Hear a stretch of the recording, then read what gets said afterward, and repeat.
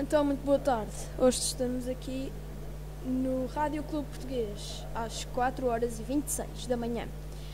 Comunicado do Movimento das Forças Armadas, dia 25 de abril de 1974.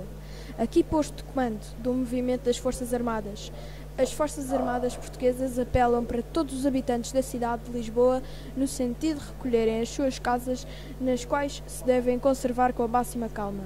Esperamos sinceramente que, assinalada por qualquer acidente pessoal, para o que apelamos para um bom senso dos comandos das forças militarizadas, no sentido de serem evitados quaisquer, quaisquer confrontos com as Forças Armadas.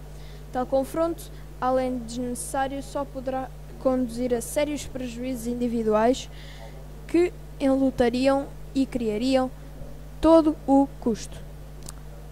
Não, não obstante, a, empresa, a expressa preocupação de não fazer correr a mínima gota de sangue de qualquer português, apelamos para o espírito cívico e profissional da classe médica, esperando a sua ocorrência aos hospitais a fim de prestar a sua eventual colaboração, que se deseja sinceramente desnecessária.